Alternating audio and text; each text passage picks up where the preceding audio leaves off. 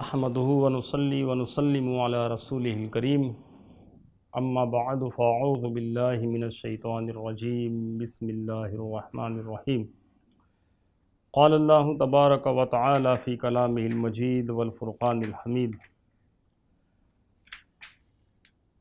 इन यौमल फ़स्ल कान मीक़ाता सदक़ल्लाहु मौलाना अज़ीम वबल्लना रसूलनबीकरीम नहनु अला ज़ालिका लमिन शाहिदीन व मौलाया सल्लि वसल्लिम दाइमन अबदा अला हबीबिका खैरिल खल्क़ि कुल्लिहिम हुवल हबीबुल्लज़ी तुरजा शफ़ाअतुहु लिकुल्लि हौलिम मिनल्लाहि वालि मुक़्तहिमी व मलाइकतहु युसल्लूना अलन नबी या अय्युहल्लज़ीना आमनू सल्लु अलैहि वसल्लिमु तस्लीमा। अल्लाहुम्म सल्लि अला सय्यिदना मौलाना मुहम्मदिन व अला आलि व मौलाना मुहम्मदिन मुबारक बारिक वसल्लिम। सलातन व या रसूल अल्लाह व अला आलिका व अस्हाबिका या ख़ातमन नबिय्यीन हम्द सलात के बाद मोज़्ज़ मोहतरम नाजरीन कराम सामीन कराम आज एक नए प्रोग्राम के साथ आपकी खिदमत में हाज़िर हैं और इन ताला आज इस्लाम और रूहानियत के हवाले से हम अकीद आखरत पर बात करेंगे और मेरे सामने कुरान करीम की सूरह जो है आखिरी पारे की पहली सूरा सूर नबा मेरे सामने मौजूद है, जो पूरी की पूरी इसी मौजू पर जो है बड़ी शरह बस्त के साथ गुफ्तु करती हुई हमें दिखाई देती है। मोज़ नाजरीन कराम रूहानियत का अकीदे से ख़ास किस्म का ताल्लुक़ है। अल्लाह और उसके रसूल पर ईमान लाने के बाद सबसे अहम चीज़ जो है योम आखरत है। ये तीन अहम मौजूद हैं, तोहीद अक़ीद रसालत और अक़ीद आखरत, जिसका ज़िक्र हमें कुरान करीम में तफसील के साथ मिलता है।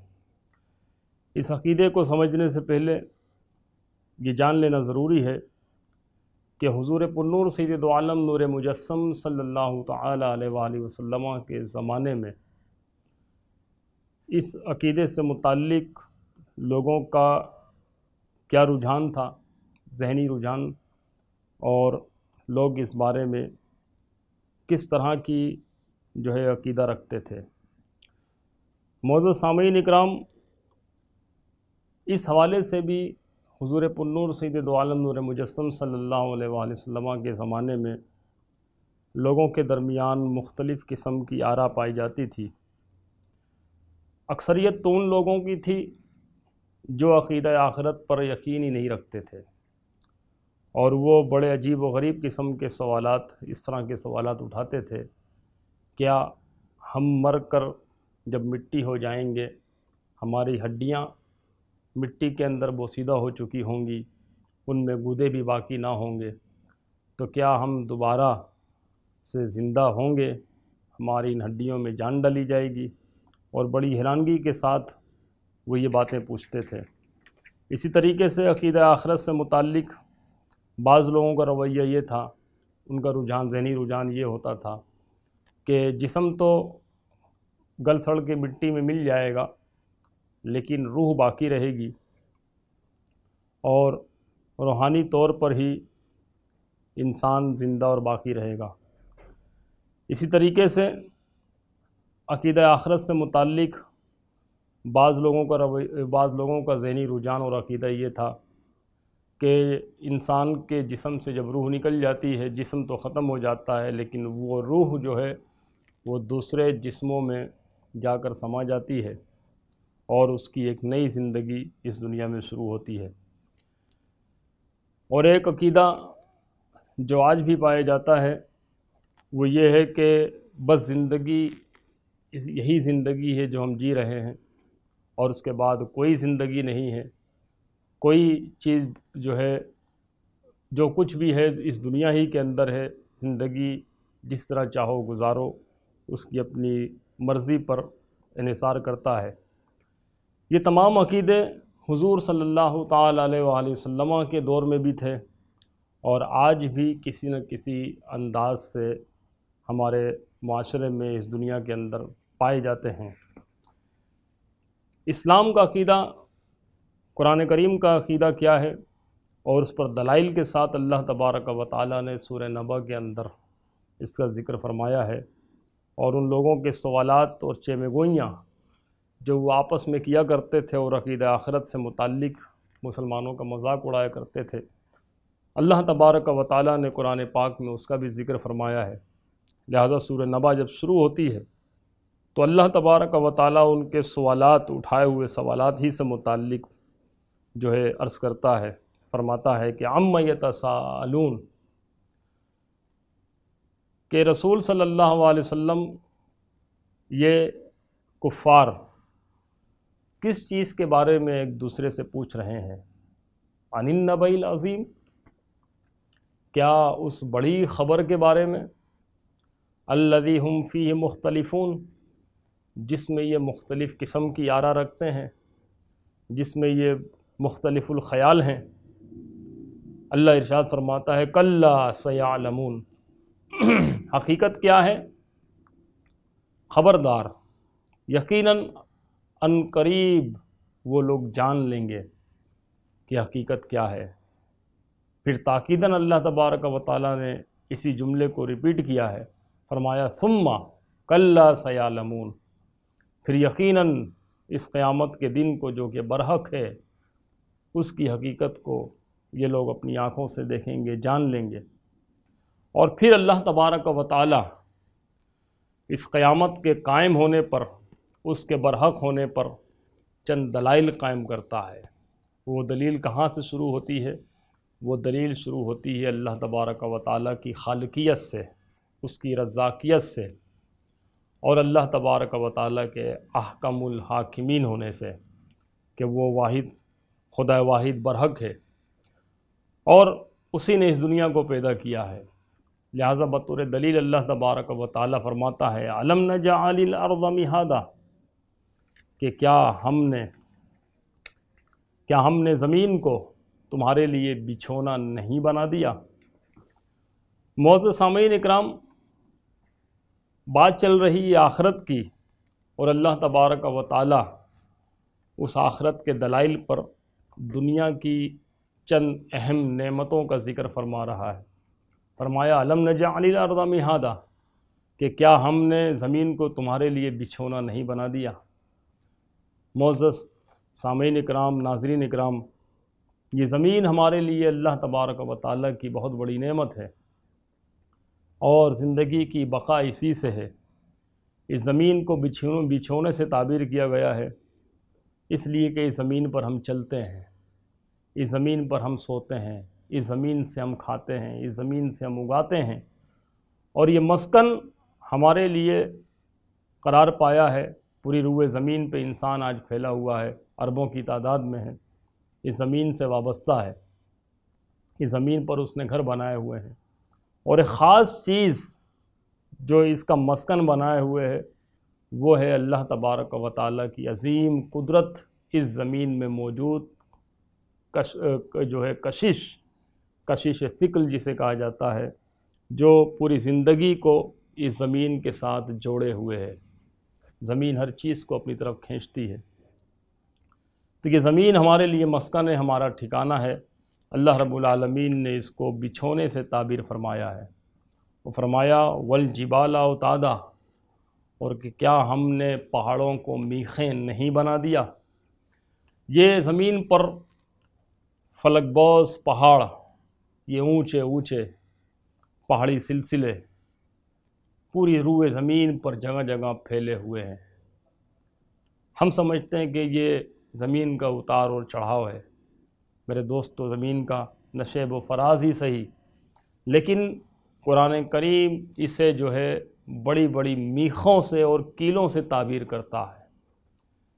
अगर ये कीलें अपनी जगह से उखड़ जाएँ तो ज़मीन अपनी जगह पे बरकरार नहीं रहेगी। ज़मीन अपनी जगह पे कायम दायम नहीं नहीं रहेगी। अल्लाह तबारक व ताली ने ज़मीन को बरकरार रखने के लिए, इसको बाकी रखने के लिए इसके अंदर इस तरह पहाड़ों को गाड़ दिया है कि जिस तरह हम कोई फर्नीचर वगैरह या कोई भी दुनिया की चीज़ इस तरह हम बनाते हैं, लकड़ी के सामान की, उसे कीले, कील से ठोक कर उसको अपनी अपनी जगह पे पेवस कर देते हैं हर हर एक एक चीज़ को।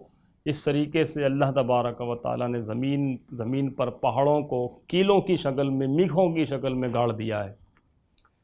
और फरमाया व खलक नाकुम अजवाजा और हमने पैदा किया तुम्हें जोड़ों की शक्ल में जोड़ा जोड़ा बनाया। पेयर्स की सूरत में अल्लाह तबारक व ताली ने बनाया। यहाँ तो मुखातब जो है वो इंसान है। और इंसान ही से कहा जा रहा है कि हमने तुम्हें जोड़ों की शक्ल में पैदा किया है। और वाकई ज़िंदगी जो कायम व दायम है, इंसान के मुजक्कर और मुन्नस होने की सूरत में, इंसान का मर्द होना या उसका औरत होना, ये अल्लाह तबारक व ताली की कुदरत पर, उसकी, उसके, उसकी जो है अजीम कुदरत पर एक बहुत बड़ी दलील है। मर्द की खासियात, उसकी जिस्मानी खसूसियात, उसकी वज़ाकता, उसकी सलाहियतें, उसकी क़वत व ताकत। इंसान में औरत की जिस्मानी खसूसियात, उसकी जहनीत उसकी जिस्मानी वज़ाकता और उसकी सारी सूरतें। मर्द के अंदर अपनी तख्लीकी सलाहियतें, औरत के अंदर जो है नस्ल इंसानी को आगे बढ़ाने के लिए तख्लीकी सलाहियतें ये रब ताला की तरफ़ से पैदा करना है। व खलक ना को मजवाजा फरमाया है कि हमने तुम्हें जोड़ों की शक्ल में पैदा किया है और मर्द औरत ये इंसानी बका की ज़िंदगी के उस गाड़ी के पहिए की तरह है जो एक पहिया निकल जाने से पूरी गाड़ी बेकार हो जाती है। इसी के ज़रिए से इन नस्ल इंसानी आदम सलाम और बीबी हवा से जब आगे चली तो आज अरब अरबहा अरब की तादाद में पूरे रूए ज़मीन पर इंसान फैला हुआ है। अगरचे उसका ताल्लुक़ किसी भी ज़ुबान से हो, किसी भी नस्ल से हो, किसी भी मज़हब से हो, लेकिन वह जोड़े की शक्ल में और सब के सब हज़रत आदम और बीबी हवा की औलाद हैं।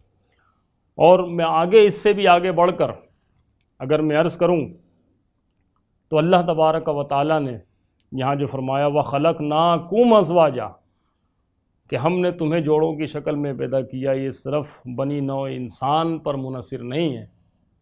ये मुखातब जो है सिर्फ़ बनी नौ इंसान ही नहीं, बल्कि इस रूए ज़मीन पर मौजूद हर जानदार जो आँखों से नज़र आता है या जो आँखों से नज़र नहीं आता, वो सब के सब इस पर सादिक आते हैं। हर हर जानदार में पेयर्स मौजूद हैं। और साइंस, बॉटनी का इल्म हमारा जितना तरक्की करता जा रहा है वो इस चीज़ को वाज करता जा रहा है, ख्वा ज़िंदगी का ताल्लुक़ इंसान से हो या नबातात से हो, पौधों से हो, दरख्तों से हो, या समंदर के अंदर, पानी के अंदर पाए जाने वाले हैवानात से हो, या जंगलात के अंदर मौजूद जंगली जानवरों से, हशरातुल अर्ज़ से हो, हर चीज़ में अल्लाह तबारक व ताली ने जोड़े बनाए हैं पेयर्स बनाए हैं। और साइंस बायोलॉजी बॉटनी, ये सारा का सारा इल्म इस बात पर बहुत बड़ी दलील है। आप देखें बहुत सारे पौधों में भी, नर और मुजक्कर और मुन्नस वो बिल्कुल वाज दिखाई देते हैं। मिसाल के तौर पे पपीते का दरख्त, एक ऐसा दरख्त है कि जिसमें फल भी निकलता है, उसी के बाद दरख्तों में सिर्फ़ फूल निकल रहे होते हैं। और साइंस हमें ये बताती है कि पपीते के दरख्त के लिए अगर एक जगह फलदार दरख्त लगा हुआ है तो उसके इर्द गिर्द करीब करीब एक ख़ास एरिए तक उसका एक मुजक्कर पौधा होना ज़रूरी है, वरना उसके अंदर बारह आवरी नहीं होगी। उन मुन्नस के अंदर पपीते का फल नहीं निकलेगा। इसी तरीके से हम देखते हैं, हर जानदार में जोड़े मौजूद हैं, जो आँखों से दिखाई देते हैं, लेकिन बाज़ जानदार पैरासाइट्स जो है, पानी के अंदर मौजूद मुख्तलिफ़ तालाब में, मुख्तलिफ़ जोड़ों में। हमें ऐसे पैरासाइट्स मालूम हो, मालूम होते हैं साइंस की रोशनी में, जो माइक्रोस्कोप से ही देखे जा सकते हैं, आम आँखों से नज़र भी नहीं आते। उनमें भी अल्लाह तबारक व ताली ने मुजक्कर और मुन्नस पेयर्स की सूरत में बना रखे हैं। यहाँ तक के बाज़ अजसाम ऐसे हैं कि एक ही जिसम है, एक ही जिसम के अंदर मुजक्कर और मुन्नस दोनों की सलाहियत मौजूद होती है। मिसाल के तौर पे साइंस पढ़ने वाले ये बात जानते हैं। अमीबा, एक ऐसा जो है आँखों से ना नज़र आने वाला पैरासाइट्स है, ऐसा जरसूमा है, या ऐसी अल्लाह की मखलूक है, एक ही जिसम के अंदर मुजक्कर मुन्नस की सलाहियत होती है। एक टाइम लिमिटेड तक वो जिसम दो हिस्सों में तकसीम हो जाता है और दो अलग अलग जानदार वजूद में आते हैं। तो अल्लाह तबारक व ताली ने इस पूरी ज़िंदगी में ख्वा उसका ताल्लुक़ इंसान से हो या किसी और चीज़ से, अल्लाह तबारक व ताली ने जोड़ों की शक्ल में बना रखा है। और ये अल्लाह तबारक व ताली की बहुत अजीम नेमत है। इसी तरीके से आगे शाद फरमाया व जालना नौ मकुम सुबाता और हमने तुम्हारी नींद को इंतहाई पुरसकून बना दिया है, बाईस आराम बना दिया। मोज़द नाजरीन इकराम सामीन मोहतरम, इंसान सुबह जो है अपने काम पर निकलता है। थक हार कर दिन भर के काम काज के बाद जब वो घर वापस आता है, थोड़ी देर के बाद रात शुरू हो जाती है। जिस्मानी तौर पर, जहनी तौर पर वो काम काज से थक कर चूर हो जाता है। उसको आराम की ज़रूरत पड़ती है और उस आराम करने के लिए अल्लाह तबारक व ताली उस इंसान पर एक ख़ास सुकून नाजिल करता है, नींद की सूरत में नींद अल्लाह तबारक व ताली की बहुत बड़ी नेमत है। इस नेमत की कदर उनसे पूछिए कि जिनकी नींदें उड़ जाती हैं, जो आम नींद नहीं ले पाते, जो दवा खाए बग़ैर नहीं सो पाते। इस नींद की कदर उनसे पूछें कि नींद कितनी बड़ी नेमत है। और हकीकत बात है, खुशनसीब हैं वो लोग कि जब वो सोना चाहते हैं, आँखें बंद करते हैं, उन्हें नींद आ जाती है। ये अल्लाह तबारक व ताली की बहुत अजीम नेमत है। ये नींद अल्लाह की ऐसी नेमत है कि दिन भर का थकन, दिन भर की थकन जो होती है, उसकी चंद घंटों में नींद के साथ सारी की सारी उतर जाती है। हम खाने की कमी पानी से पूरी नहीं कर सकते। पानी की कमी खाकर पूरा नहीं कर सकते, उसे कम तो कर सकते हैं, पूरा नहीं कर सकते। इसी तरह हम जो है नींद की कमी किसी और चीज़ से पूरी नहीं कर सकते। नींद की कमी नींद ही के ज़रिए से पूरी होती है। कितनी ही थकन के आसार क्यों ना हो, चंद घंटों की नींद के बाद इंसान तरोताज़ा फ्रेश होकर उठता है। और जब उठता है तो एक नई ज़िंदगी के साथ, नई उम्मीदों के साथ और एक नई ताकत और क़ुवत के साथ वो बेदार होता है और फिर अगली ज़िंदगी में कदम रख के वो फिर जो है आगे की तरफ़ बढ़ना शुरू हो जाता है।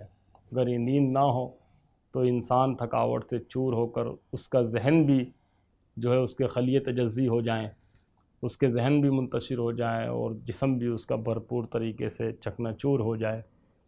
तो अल्लाह फरमाता है कि क्या हमने तुम्हें, तुम्हारी नींद को आराम दे नहीं बना दिया? वजाल लिबासा।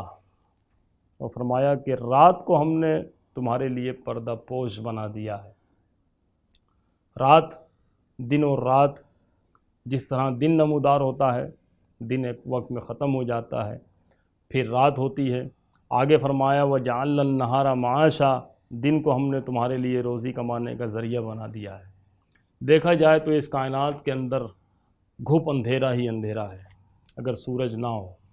लेकिन सूरज का, सूरज की गर्दिश, सूरज का तुलू होना, सूरज का ग़रूब होना ये दिन और रात को पैदा करता है। इसकी तफसील हम आगे समाप्त करेंगे। बताने का मकसद ये है कि रात जब पर्दा पोश हो जाती है, इंसान सुकून की नींद लेता है। बहुत सारे ऐसे काम जो दिन में इंसान नहीं कर पाता, रात में बासानी उसके लिए वो तैयार होता है। यही रात है जिसमें इंसान अगले दिन की प्लानिंग्स भी कर रहा होता है। यही रात है जिसमें इंसान बहुत सारे खुफिया असरार जो है उन, उनकी प्लानिंग करता है। यही रात है कि जिसकी जिसमें इंसान जो है पुरसकून, नींद लेता है और फिर अगले दिन के लिए वो तैयार हो जाता है। वह जाल नहारा माशा और दिन को अल्लाह ने काम काज के लिए बनाया है। और रात जब गुज़र जाती है तो अच्छा इसी रात में बाद हजरात जो है, वो अल्लाह तबारक व ताली की इबादत भी बजा लाते हैं। और ईशा की नमाज़ के अलावा भी अल्लाह तबारक व ताली की ख़ास इबादत करते हैं। वो अल्लाह के ख़ास बंदे होते हैं। और दिन को ज़रिए माश रोज़ी कमाने का ज़रिया बनाया। और हकीकत है कि जब सूरज निकलता है तो जहाँ जहाँ उसकी रोशनी फैलती है, वहाँ दिन नमदार होता है। और इस सूरज के अंदर अल्लाह तबारक व ताली ने वो हरारत और रोशनी रखी है कि जो ज़िंदगी को आगे बढ़ाने में मदद देती है। वह बनई न फ़ौकुम सब आन शिदादा, और उससे आगे इरशाद फरमाया कि और हमने बनाए तुम्हारे ऊपर सात मज़बूत आसमान, सात मज़बूत आसमान। ये आसमान और फल्कियात का ज़िक्र हमारे यहाँ यूनान, फ़लसफ़ा यूनान के अंदर बड़ी कसरत के साथ होता है कि आसमान ठोस है या लतीफ़ है। आसमान कितने हैं इनकी तादाद कुरान करीम और इस्लामी तालीमत के मुताबिक। आसमान सात हैं और अल्लाह तबारक व ताली ने ये एक के बाद एक आसमान बनाया है। अब इसकी हकीकत क्या है? साइंस जितनी तरक्की करती जा रही है, इल्म फ़ल्कियात के माहरीन ये सारे राज वाशगाफ करते चले जा रहे हैं। लेकिन कुरान ने वाज फ़ैसला बता दिया है कि जो आसमान है, ये सात दिलंगु आसमान तुम्हारे सरों पर साहिबा किए हुए है। और सुर यासिन में अल्लाह तबारक व ताली एक जगह इरशाद फरमाता है कि तुम इस आसमान की तरफ़ नज़र दौड़ा कर देखो, तुम्हें कहीं भी किसी किस्म का कोई शगाफ, कोई दराड़ नज़र नहीं आएगी। ये बग़ैर सुतून के कायम व दायम है। तुम नज़र दौड़ाओ, तुम्हारी नज़र जो है, इस तनकीद की नीयत से अगर दौड़ती है तो खायब खासिर होकर वापस आ जाएगी। वह जानना सिराजा व हाजा, और हमने बनाया हमने बनाया इंतहाई रोशन चमकता हुआ चिराग। अब ये वो सूरज का ज़िक्र हो रहा है कि हमने जो है इस आसमान के साथ जो है, हमने एक रोशन चिराग चमकता हुआ, सिराजम व हाजा, व हाज बनाया है। यानी कि ऐसा चिराग जिसके अंदर रोशनी भी है और जिसके अंदर हरारत भी है। और ज़िंदगी की बका के लिए रोशनी भी ज़रूरी है, उस रोशनी के साथ हरारत भी ज़रूरी है। बाज़ रोशनी अगर ठंडी होती, अगर ये रोशनी ठंडी होती तो भी ज़िंदगी बाकी ना होती। तो अल्लाह तबारक व ताली ने सूरज को वहाज वहाज का, वहाज कहकर फरमाया कि ये रोशन चिराग की सूरत में तुम्हारे सामने मौजूद है। ये मेरे दोस्तों, इस सूरज की रोशनी में इंसान ना सिर्फ़ ज़िंदगी गुजारता है, बल्कि इससे बहुत सारे ज़िंदगी के और बहुत सारी चीज़ें फलों का पकना समंदर के नशेब व फराज उतार चढ़ाव और ज़मीन की गर्दिश, इन तमाम चीज़ों का ताल्लुक़ सूरज के साथ वाबस्ता है। इन ताला इसकी मज़ीद तफसील हम एक छोटे से ब्रेक के बाद आपको बताएँगे और समझाएँगे कि किस तरह अल्लाह तबारक व ताली इन दलाइल के ज़रिए से योम आखरत को साबित करना चाह रहा है, उसको समझने की ज़रूरत है। तो आते हैं वापस इन एक छोटे से ब्रेक के बाद। Welcome back. नाजरीन मोहतरम, आगे अल्लाह तबारक व ताली शाह फरमाता है वान मिनल मौसरात ईमान सज्जाजा और हमने बरसाया बादलों से मौसलाधार पानी। ये बारिश, ये अल्लाह तबारक व की बहुत अजीम नेमत है। अगर हम इस आबी गर्दिश के सिलसिले को देखें, इस जो है पानी के गर्दिशी निज़ाम की तरफ़ नज़र दौड़ाएँ तो हमें पता चलता है कि ख़ास किस्म का निज़ाम, एक सिस्टम कायम दायम है। दिन और रात का निकलना और जो है आसमान की मौजूदगी, इस आसमान और इसके इर्द गिर्द अजराम फल्कियात, सूरज, चाँद हज़ार हा करोड़ हा अरबों की तादाद में सितारे और सैारे और इनके दरमियान पानी की गर्दिश का एक मतदिल निज़ाम किस तरह अल्लाह तबारक व ताली की तरफ़ से ये चल रहा है। लाखों, करोड़ों, अरबों सितारे सैारे मौजूद हैं।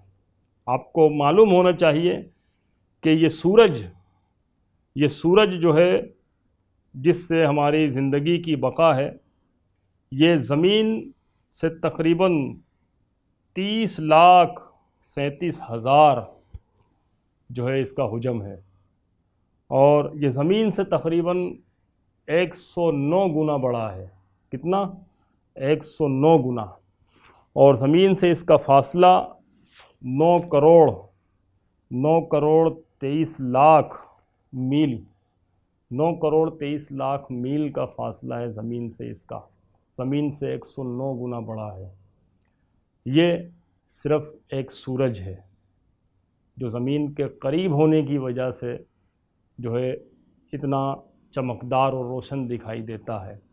इस सूरज से बड़े बड़े अजराम फल्कियात के अंदर इस सूरज से हज़ारों गुना बड़े बड़े सितारे मौजूद हैं और उससे कहीं ज़्यादा रोशन है। लेकिन इतने बड़े फासले पर हैं, इतने ज़्यादा फासले पर हैं कि वो हमें छोटे छोटे दिखाई देते हैं। ऐसे करोड़ा सितारे मिलकर फिर एक कहकशां को वजूद देते हैं।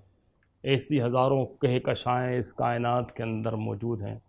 और आप ये देखें कि ये अरबहास अरबो अरबा अरब सितारे, इनकी गर्दिश, इनका आपस में जो है मुतहरिक होना, ये जो है इनको कहीं, इनके इस निज़ाम में कहीं खलल पैदा नहीं होता। ये एक दूसरे से टकराते नहीं हैं। ये ख़ास निज़ाम निज़ाम कुदरत के तहत चल रहे हैं। इसी तरीके से पानी की गर्दिश का निज़ाम हम देखें कि किस तरह ये बादल जो है समंदरों से, दरियाओं से, ज़मीन से पानी को उठा कर लेकर जाते हैं और अपने अंदर उसको जज्ब करके यहाँ से वहाँ तक, ज़मीन के इस कोने से दूसरे कोने तक सफ़र कर रहे होते हैं और फिर जहाँ अल्लाह का हुक्म होता है, ये बारिश बरसा रहे होते हैं। पानी जो है ज़मीन से उड़कर दरियाओं से उड़कर ज़मीन के उस हिस्से में जाता है जहाँ पे आमतौर पे पानी नहीं पहुँच पाता। और फिर वही पानी, बारिश के पानी मिलकर जगह जगह से फिर इंसान की ज़रूरियात को पूरा करते हुए फिर नालों की, नदी नालों की शक्ल में और फिर दरियाओं में और समंदरों में जा गिरते हैं और फिर यही समंदर का पानी बादल वापस उठा कर लेके जाते हैं। इस तरह इंसान की ज़रूरत को, जानदारों की ज़रूरत को पूरा करने के लिए अल्लाह तबारक व ताली ये पूरे पानी का निज़ाम इस रूए ज़मीन पर चला रहा है। इसीलिए फरमाया कि हम ये पानी इसलिए बरसाते हैं, लिनुखरिजा भी हब्बा व नबाता, ताकि हम इस पानी के ज़रिए से उगाएँ तुम्हारे लिए अनाज और सब्ज़ियाँ। वजन्नाती नलफाफा और घने घने बागात, तुम्हारे लिए बागात उगे इन पानी के ज़रिए से, और उग रहे हैं। इन्हीं पानी पर ये सा इनका दा, सारा दारो मदार है। अब इन सारी चीज़ों को ज़िक्र करने के बाद जो एक ख़ास निज़ाम कुदरत के तहत चल रहे हैं जो अल्लाह के वजूद पर बहुत बड़ी दलील हैं कि यकीनन इस निज़ाम को चलाने वाली कोई हस्ती है कोई ज़ात है जो चला रही है वरना एक छोटा सा निज़ाम भी ख़ुद ब खुद नहीं चल सकता। ये ये सब इत्तेफाक, इत्तेफाकियात नहीं हो सकते। ये कोई एक्सीडेंट या कोई हादसा एकदम अचानक नहीं हो सकता कि कायनात खुद ब खुद वजूद में आ गई। कैसे आ सकती है? ये कैसे हो सकता है इत्तेफाकी तौर पर? आप सौ बंदरों को, हंड्रेड मंकीज़ उनके हाथ में लैपटॉप दे दें और उनके सामने जो है एम एस ऑफ़िस का वर्ड वर्ड का जो है उनके सामने खोल दें और उन बंदरों को टाइपिंग की प्रैक्टिस करवाएँ। और एक साल तक वो मोंकीज़ टाइपिंग करते रहें करते रहें। यकीन जानिए, एक साल तक वो टाइपिंग करते रहें, फिर भी कोई शेक्सपियर की नज़म उनकी टाइपिंग से सामने नहीं आ सकती है। नहीं आएगी। उर्दू टाइपराइटर उनके सामने खोल दें, लामा इकबाल की एक नज़म इत्तेफाकी तौर पर सामने नहीं आ सकती। तो जब वहाँ इत्तेफाक नहीं हो सकता तो ये पूरा निज़ाम कुदरत, एक ख़ास निज़ाम के तहत चल रहा है और आपस में किसी किस्म का कोई खलल पैदा नहीं हो रहा। तो यकीनन इस निज़ाम के पीछे कोई हस्ती है, कोई वजूद मौजूद है जो इसको चला रहा है। अल्लाह तबारक व ताली इस निज़ाम कायनात की तरफ़ गौर, फ़िक्र और तदब्बर की दावत दे रहा है, ताकि रब ताला की तरफ़ पहुँच सके। और फिर इस तदब्बर, गौर, फ़िक्र की दावत देने के बाद वो क़यामत पर दलाइल भी कायम कर रहा है। उसके बाद इरशाद फरमाता है कि इन यौमल फ़सल काना मीखाता कि बेशक एक वक्त मुन है। क़यामत का दिन, फ़ैसले का दिन मुकर्रा वक्त है मुन वक्त है और वो आकर रहेगी। जब ये सारा निज़ाम तहस नहस हो जाएगा। बताने का मकसद ये है कि अल्लाह तबारक व ताली हमारी तवज्जो इस तरफ़ इस तरफ़ दिला रहा है कि जब एक ख़ास निज़ाम के तहत ये ज़मीन व आसमान कायम व दायम है, ज़मीन मुतहरिक अपनी जगह एक ख़ास मदार में हरकत कर रही है। उसके गिर्द चाँद हरकत कर रहा है। सूरज मौजूद है, सितारे मौजूद हैं, बारिश का निज़ाम मौजूद है। जब अल्लाह तबारक व ताली की तरफ़ से ये अजीम शाहकार मुआज़ात एक निज़ाम की सूरत में कायम व दायम है और वह हस्ती उसको चला रही है, इस बात पर कादिर है कि वह उसको चला रही है। तो वो हस्ती इस बात पर भी कादिर है कि वो इस निज़ाम को आपस में पेवस कर दे, तबाह बर्बाद कर दे। एक दूसरे के साथ टकराव पैदा हो जाए, वो हस्ती इस बात पर भी कादिर है। और एक दिन ऐसा होगा कि उसी के हुक्म पर ये सारा का सारा निज़ाम तहस, नहस हो जाएगा। सारा सारा का सारा निज़ाम आपस में टकरा जाएगा और वो दिन होगा क़यामत का दिन। जिसके बारे में फ़रमाया कि इन यौमल फ़सल काना मीखाता, कि बेशक क़यामत का दिन मुन है। आगे इशाद फरमाया कि यौम यून फ़ूर फ़तून अफवाजा। उस दिन क्या होगा? चंद यहाँ पे झलकियाँ अल्लाह तबारक व ताली ने ज़िक्र फरमाई हैं क़यामत की। यौम फ़ूर सूर फ़तून अफवाजा, कि जिस रोज़ सूर फूका जाएगा तो तुम चले आओगे फ़ौज दर फौज। कुरान करीम में मुख्तलिफ़ मकाम पर जगह जगह जो है, हमें क़्यामत की मंदरकशी जो है, वो दिखाए, दिखाई गई है। और अदीस मुबारक में भी इसका ज़िक्र मिलता है कि जब सूर फूका जाएगा तो फिर तमाम जानदार मर जाएँगे। इसको नफ़ा उला कहेंगे।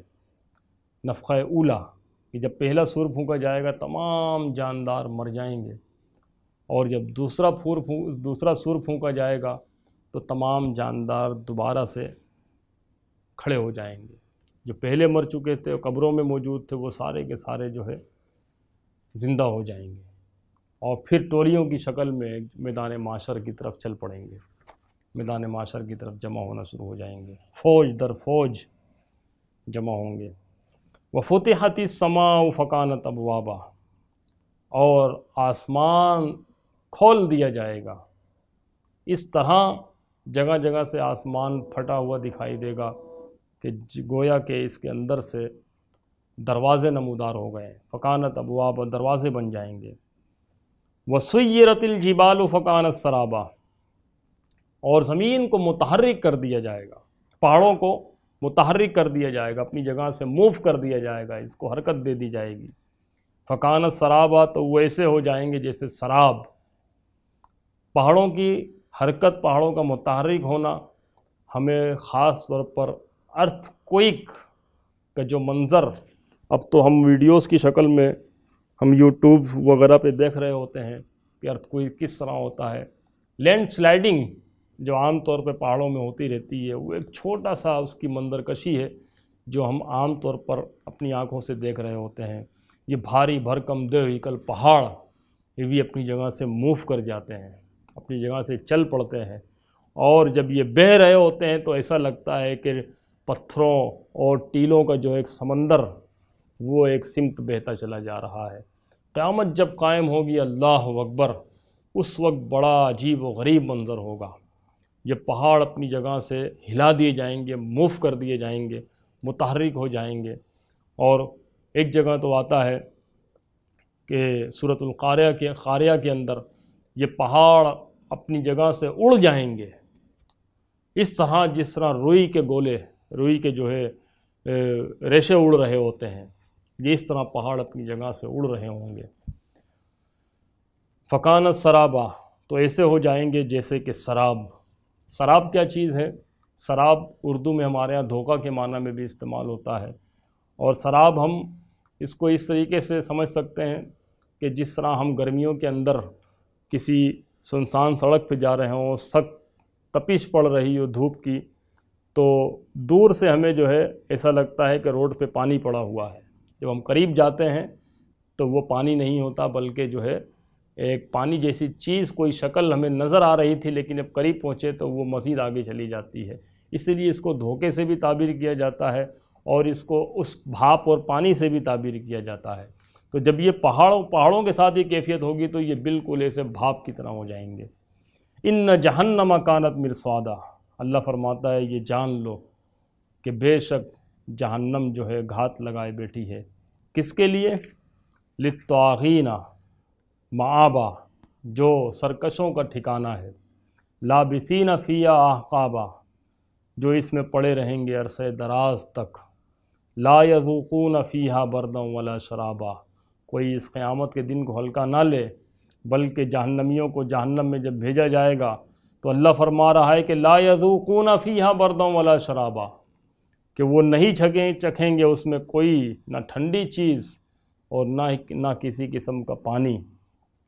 इल्ला हमीम वसा का हाँ जब जहन्नमी भूख और प्यास से बिलक रहे होंगे, तड़प रहे होंगे तो उनके सामने खाने पीने के लिए पेश तो किया जाएगा, लेकिन क्या? फरमाया, खोलता हुआ पानी और जहन्नमियों के जिसम से रिसने वाला गंदा पीप जो उनको पीने के लिए पेश किया जाएगा। क्यों? अल्लाह फरमाता है जज़ाम वफाक़ा। ये उनके लिए बदला है दुनिया में। दुनिया में जो वो किया करते थे, उसका पूरा पूरा बदला उनको दिया जाएगा। किसी के साथ जुल्म ज़्यादती नहीं होगी। हर आदमी अपने अमल के, का जो बीज बोया था, अब उसी की खेती कल बरोज़ क़यामत काट रहा होगा। फरमाया इन नहम कानू लायर जूना हिसाबा। ये लोग क़यामत के दिन पर यकीन नहीं रखते थे और ये तस्लीम नहीं करते थे, उम्मीद नहीं रखते थे कि हम, हमसे हिसाब भी लिया जाएगा। ये कैसे हो सकता है कि दुनिया में एक शख्स जुल्म सितम करता रहा ज़्यादतियाँ करता रहा, नाहक मारता रहा हक मारता रहा लोगों का नाहक कत्ल करता रहा। वो मरने के बाद उसको ऐसे ही छोड़ दिया जाए।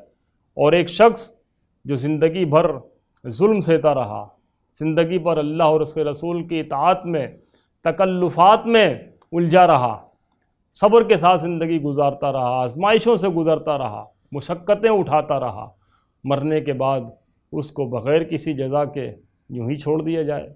यूँ ही जाने दिया जाए। नहीं, बल्कि हर एक को उसकी जजा, उसके अमाल के मुताबिक अच्छे अमाल तो अच्छी जजा, बुरे अमाल तो बुरी जजा।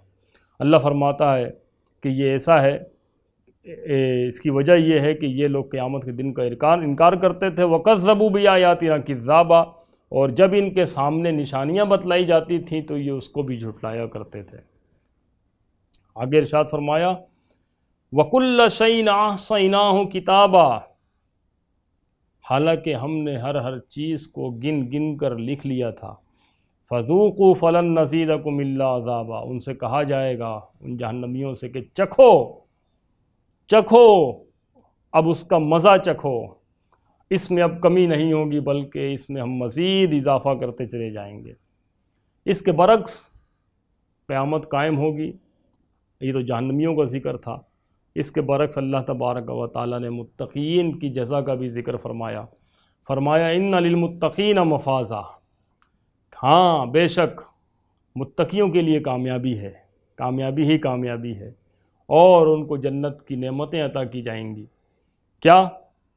चंद नेमतों का ज़िक्र यहाँ अल्लाह इरशाद फरमाता है हदा व उनके लिए बागात होंगे, अंगूर की बेलें होंगी फल होंगे।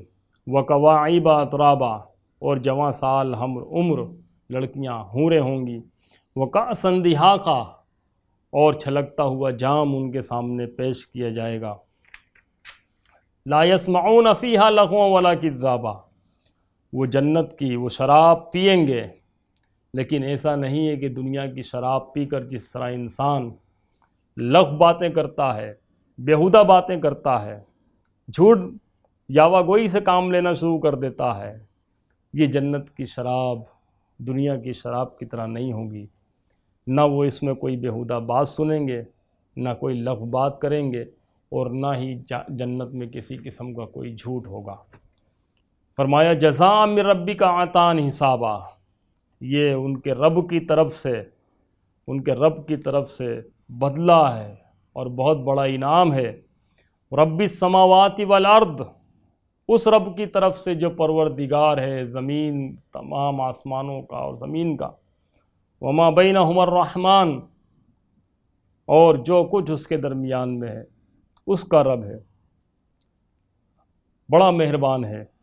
वो रब जो बड़ा मेहरबान है। लायम लिकून अमीन हो खिताबा। लायम लिकून अमीन हो खिताबा। उस रोज़ उसका जाहो जलाल ऐसा होगा कि उसकी इजाज़त के बग़ैर कोई बात भी ना कर सकेगा। किसी की ताकत नहीं होगी कि उसकी इजाज़त के बग़ैर एक कलाम भी, एक बात भी कर सके, एक लफ्ज़ भी अपने मुँह से निकाल सके। और उस वक्त अल्लाह के रोब व दबदबे, उसकी शहनशाहियत और उसकी किबरियाई इस अंदाज से जलवागर होगी कि यौम यकूम रोह वलमलाई का तसफ़ा कि उस रोज़ फ़रिश्तों के सरदार, रूहुल अमीन और तमाम फरिश्ते सफ़ दर सफ़ हाथ बाँध कर अल्लाह तबारक व ताली की बारगाह में हाजिर होंगे। ला यतकल्लमूना इल्लमन अजीना लहुर्रहमान वक़ाल सवाबा। और कोई भी बोल नहीं पाएगा, कोई भी कलाम नहीं करेगा। हाँ इल्लमन अजिन। मगर ये कि अल्लाह तबारक व ताली जिसको इजाज़त दे, रहमान जिसको इजाज़त दे, वकाल सवाब और वो ठीक ठीक बात करे। और जिसको इजाज़त मिलेगी, वो अल्लाह तबारक व ताली की बारगाह में हम कलाम होगा। यहाँ से एक हदीस पाक का ज़रूर ज़िक्र मैं करना चाहूँगा। आक़ा तो जहाँ अलैहि वसल्लम फरमाते हैं, इमाम बुखारी ने इस हदीस को अपनी सही में, हदीस शफ़ात में बड़ी तफसील के साथ इसका ज़िक्र किया है। हजूर सलाम फरमाते हैं कि काफ़ी अरसे तक लोग क़यामत की सख्तियाँ झीलते हुए वक्त गुजार रहे होंगे, लोग, लोगों के सर झुके हुए होंगे, पसीनों में पसीनों में शराबोर होंगे, कोई टखनों तक कोई अपने जो है कमर तक, कोई सीने तक अपने अपने अमल के मुताबिक। आखिरकार आखिरकार लोग जो है आदम सलाम के पास हाजिर होकर शफात की दरख्वास्त करेंगे। हज़रत आदम सलाम उज़ुर ज़ाहिर फरमाएँगे। फिर वहाँ से लोग दीगर अम्बियालाम के पास जाना शुरू होंगे, हज़रत इब्राहीम सलाम। उससे पहले हज़रत नू सलाम, फिर किसी और नबी के पास, फिर किसी और नबी के पास। बुखारी शरीफ की रवायत के मुताबिक आखिर में हज़रत ईसा सलाम के पास जाएँगे। आकाए तो जहाँ अलैहि वसल्लम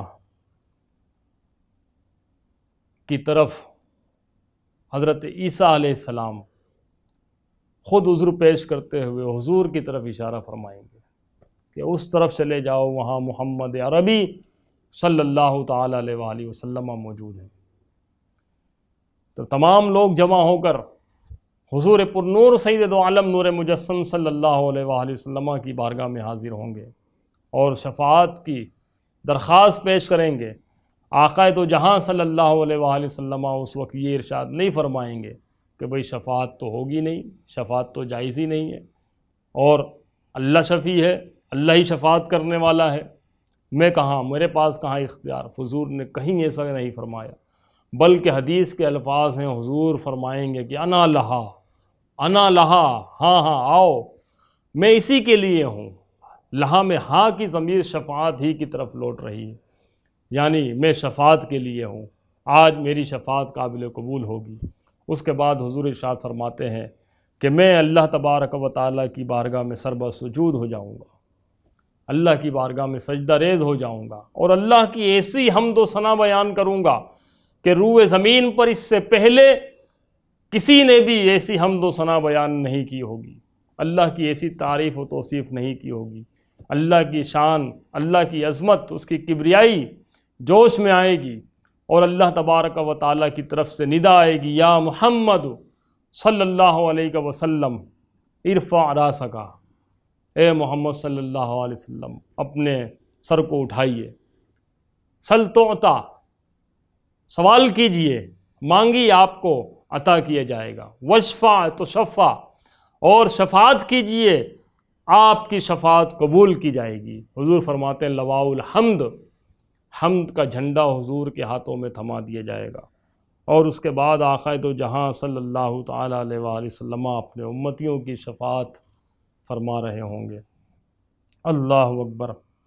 यह होगी शफात कुबरा शफात उज़मा जिस शफात के लिए हम हर आज़ान के बाद दुआ मांगते हैं कि अल्लाह तबारक व ताली हुजूर की शफात हमारे हक़ में कबूल फरमा। वही दुआ है। हुजूर सलाम से शफात की दुआ हम रज़ान के बाद मांगते हैं। तो फरमाया, ज़ालिकल यौमुलहक़ फ़मन शाह तख़ज़ रबी माबा इन नानदर नाकुम अजाबन करीबा। फरमाया, ये वो बरहक दिन है, बरहक दिन है। पस तुम में से जो चाहे अपने रब के हुजूर, अपनी रब की जवार रहमत में अपना ठिकाना बना ले। इन ना अंतर नाकुम अजाबन करीबा, हमने तुम्हें अन करीब आने वाले अजाब से डराया है। यौम यंदुरमर उमा कदमत यदा, उस दिन हर शख्स अपने अमल को देख लेगा कि उसने क्या आगे भेजा है। वह यकूल काफिर, और काफिर कहेगा, या ले तनी कुन तो तुराबा, ए काश, यानी क़्यामत की मंज़र देख कर और अपने नतीजे को देख कर वो काफिर कहेगा, या ले तनी कुन तो तुराबा काश में मर कर मिट्टी हो चुका होता। वाखिर दावाना अनिलहमदिल्ला रबालमीन